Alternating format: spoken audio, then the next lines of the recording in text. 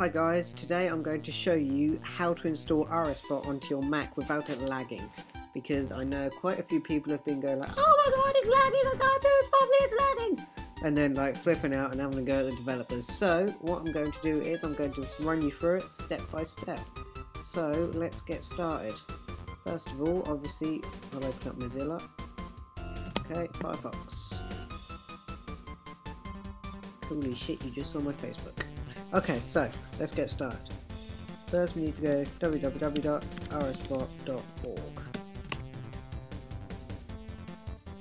For that to load. I'll just quickly sign in.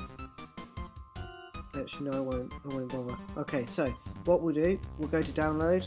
Okay, we can't use SVN on a Mac just yet because it doesn't work very well and it's really poor. So, download. Okay, you'll get this screen up depending on whether you're using Firefox or not. Just save it to the desktop, so press OK. And then it'll save it to your desktop depending on where you want it. Okay, or if you are using Firefox, you can just double click it from here. But don't bother just yet because you will get lag as I will now show you. You'll probably get really annoyed because it'll crash. Okay. Give it a moment.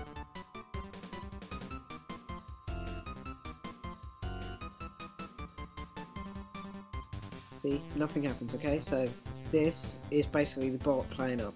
Okay, I can give you the reason for that. It's actually because Java on a Mac doesn't have the ability to run on enough RAM. So if you're not running a program that needs, say, 256 megabyte of RAM, okay, but you're trying to run it on, say, 100, you're going to get lag.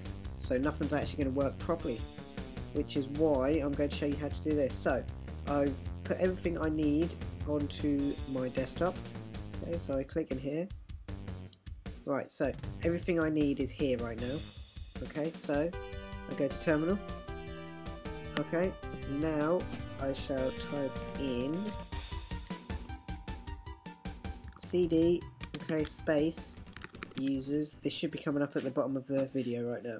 CD users, your username, in my case it's Reece Vinyard, not your RuneScape username, just your username on your Mac, okay?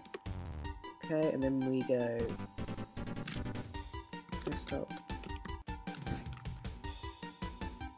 Okay, so now that we've finished navigating to our desktop, we need to navigate to the folder where RSBot, the jar file for RSBot is now held. Okay, on my Mac it's actually RSBots, Okay, so all we do next to a desktop is uh, bots, okay? Execute the command. Alright, so now we're actually in our RSBot folder, okay? Virtually, but we are in it. Okay, so now what we're going to do is we're going to tell Java to run at 256 megabytes worth of RAM. Okay, so as I was telling you earlier, if a program needs 256 megabyte of RAM, we're only giving it say 100, it's going to lag and it's not going to work correctly. But if we then decide, oh, we might as well give it the full 256 to make it work properly, we can then just give it that and give the partition over to it. Okay, so what we're going to type is Java, okay, a little line, and then all we're going to type is xmx256m. Okay, another little line, and then we're going to type our RSBot. So in my case it's rsbot.jar okay so that. Okay so we're going to try this just once more to make sure that you got it right. So it's cd okay users. Okay now your username for what you are on this mac. Mine in my case is Reece Vinyard. Okay and then what you want to do is you want to go desktop if that's where you place the rsbot okay? And in the folder so now we want to go rsbots Okay, now execute that command. You're now virtually within that folder. Okay, so we're there. Now, all we need to do is Java, okay, that little line xmx256m, okay, jar, and then you need to type the name of your rsbot, which should just be rsbot.jar. Okay, we'll now execute the command and let it roll. Okay, as you can see it's now loading up down here.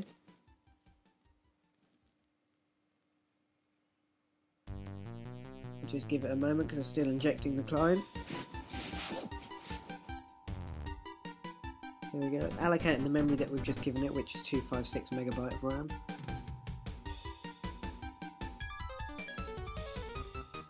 As you can see, it's loading at normal speed.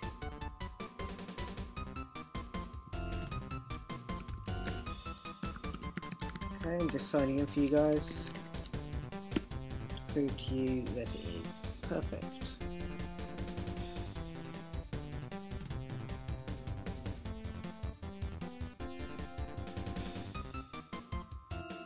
Okay, we're still logging in, loading screen, and there we are. All perfect and in working order. No lag. Okay, so that's that. That's me showing you guys how to do this properly.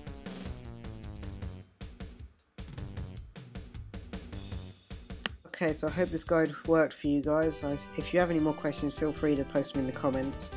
I'll definitely get back to them because I know how frustrating it can be someone not helping you. Okay, thank you again and hope to see you on the RSBot community. Bye for now. Oh, oh yeah, subscribe. Please subscribe.